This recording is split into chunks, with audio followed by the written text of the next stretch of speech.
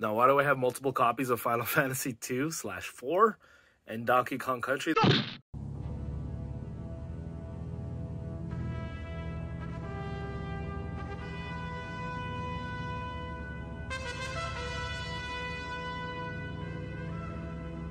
What up YouTube, Kuya Nate? And today, I recently finished archiving my entire video game collection and I thought it would be fun to kind of review certain collections, you know, see how I store them, how I play them, uh, some fun facts about them, and at the end just tabulate how many individual games I have for that system and some notable prices on some games. I've kind of decided though not to put, you know, though that whole this is what my entire collection is worth. I don't feel like that's a uh, I don't know, it feels off-putting right now. Let me know in the comments below. Perhaps in the future video, I will do that kind of video. But for today, I'm just going to focus on one console, and that is like my favorite console of all time, the Super Nintendo. Like the nostalgia vibes. So this is generally like a real representation of my office. I got stuff for sale on the floor there. I don't know what that is. I got some chips and some Coke Zero. But this is where I store the majority of my Super Nintendo games. These are loose. Oh, and I forgot. Music store? There we go. Lights up. So yes, this is the majority of my Super Nintendo collection. These are the loose cards. The backing of this is just the wall behind it. Now, why do I have multiple copies of Final Fantasy 2 slash 4 and Donkey Kong Country? They're my favorite games, yes. But when I see them at the thrift store, especially for really cheap, I have like no restraint and I just buy it and I add it to the collection there. You can see these are all alphabetical on the shelf here. Let's pull out some notable finds. This one was found at the thrift store. I think you can find a video about that. A lot of people hit me up after asking if they could buy it off me. I think I got it for. Did I leave the price tag on this one? No, I didn't. Uh, apparently, this one turned out to be a rare game. I didn't know it at the time. Fievel Goes West. Somebody put like wax, I think, to keep that label from, going up. This is how I got it at the thrift store. Look at that, $3.99. That's what I paid for this. That's a good thumbnail for this video right there. I got this for $3.99 back in the day. That's when you could take a chance on like games at the thrift store. There was more selection compared to today. And if you didn't really know the game, you could take a chance on it and go, hey, Super Nintendo game, whatever. If I play for five minutes, worth its money, right? What else do I have here? Let's see. One of my favorite beat 'em ups of all time. I used to rent this all the time until I bought it from my local video rental store, Brawl Brothers. See, my problem, quote unquote, with the Super Nintendo is I liked games that were pick up and play, a lot of arcade style games. So a lot of the rare games like Chrono Trigger and I don't know, some other RPGs, I never bothered to pick up. This is another rental game that I loved back in the day. SWAT Cats, I've ended up buying that one for $21.99 back in the day.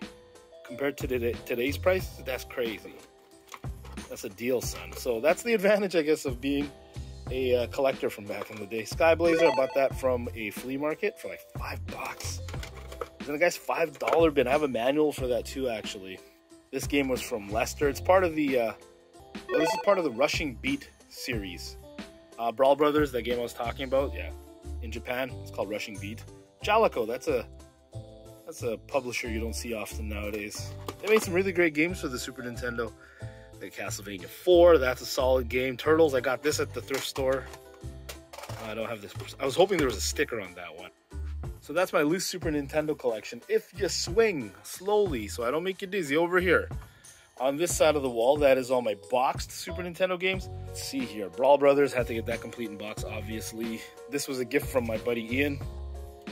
Donkey Kong Country 3. He got it for me when he started collecting video games because he saw it for really cheap. And obviously Donkey Kong Country, one of my favorite series on the Super Nintendo. Bought it for me for like 75 bucks. I don't know what that's worth today. Let's see here. I bought this from a, what's it called, a pawn shop back in the day. So they sold me all their Super Nintendo games. I don't know if I have this on video, but this is like 2012. Sold me a bunch of Super Nintendo games boxed for like five bucks a piece. That was a solid deal there. Again, Final Fantasy II. This one is complete in box. I bought that from John Bookman, local flea market legend here in our city, for like 40 bucks. I think I bought that back in like 2013 or something. There you go. That's the rest of it there. This one has some memories in it. If you see some of our old, older Thrift Dweller videos, actually one of the first Thrift Dweller videos we made, we went around to all the thrift stores in the city, and this was at Value Village on the display in the display cabinet. Yeah. Yeah, we're kind of tired. Whoa, I almost slipped. Oh, cool. Lufia, I'm buying that shit. Ooh, Populous. Oh, look at all these RPGs. I know, I'm buying that shit. Yeah. And the Fortress of Doom, thirty nine ninety nine. It, it came with the box, and the box looks like it's really good condition. Came with the map and the manual in there, and I picked up Paladin's Quest here. Never heard of this game before. It's Enix. Think it's just the cartridge. Yeah, just the cartridge. Another $5 pickup from uh, the pawn shop I was talking about earlier. This was a gift from uh, 64-Bit Matthew, good friend of ours that we met on YouTube. Check out those, uh, what would they call those? Boys Night Out videos that we used to call it when he came into town and we game hunt together. Oh, one of my favorite games. Yeah, Sim City. That's a solid game right there. One of the first games I remember trying to complete. Like I got the box. I think I got this one from the uh, pawn shop as well, and I had to buy the manual online. So one of the first I remember bidding on this while I was at work in like 2014. It's really funny on an eBay auction. Bidding on the manual for that, I mean. Oh yeah, look at that. This one is maximum carnage. I used to rent that all the time from the video rental store. Sorry, I was having trouble focusing. This was a good, I'll put this one away later, but look at this one. Super Punch Out for the Super Nintendo. Back in the day, you found this on the floor. Look at that price tag, $3.99 for that. See, we put a lot of time in this game. Um, of course, just a classic right there. First time I ever played this game, Gary, Who the fuck is that he guy? lent it to me. And uh, one of my favorite games on the Super Nintendo, obviously. Famicom games, does that count? I don't know. Oh, I got this game from a buddy of mine. I made this, uh, what do you call it? Universal game case cover. I made this, but I got this from a good friend of mine. I'll never sell it. Tony sold that to me. I think he was drunk at a party, but I took advantage of him. So how do I play my Super Nintendo?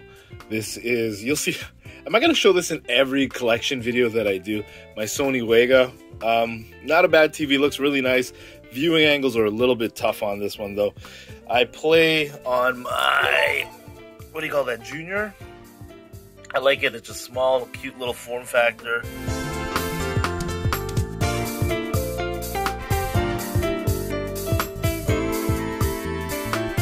And uh, in this case here, let's see, this is my Nintendo Super Nintendo controller shelf.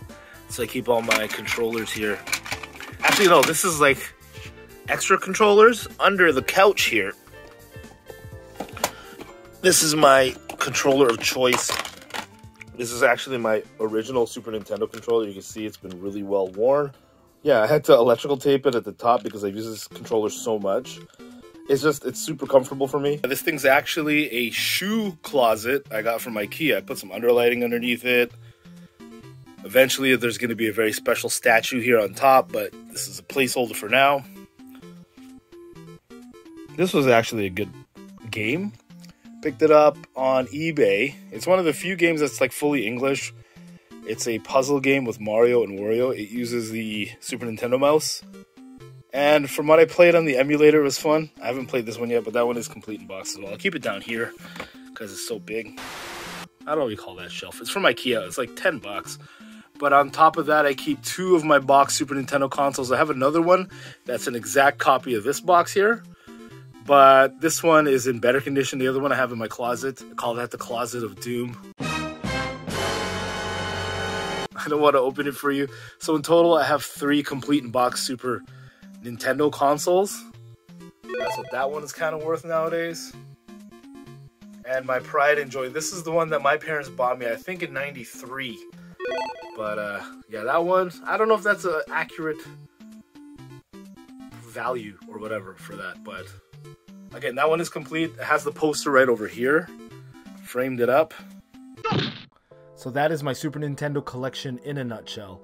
According to this app that I'm using, Game Eye, I have 214 Super Nintendo games. I have three complete in box Super Nintendo consoles. I have a couple loose ones in my closet of doom. We ain't going in there. So if I had to summarize my Super Nintendo collection, I would say that it is not like super impressive by any means, but it is really tailored to who I was as a collector and who I was as a gamer back then. A lot of the games that I really wanted from my uh, childhood, my formative years, I got those games. Again, I wasn't really much of an RPG fan like Gary and Ian and all my other friends who were playing those games Illusion of Mana, Gaia Storm. I, I didn't get those and kind of I regret not getting them.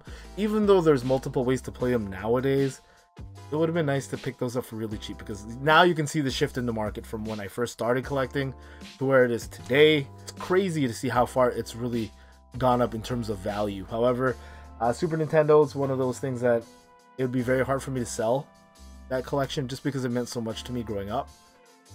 Um, not to say that I wouldn't sell my collection. I will put this out there now.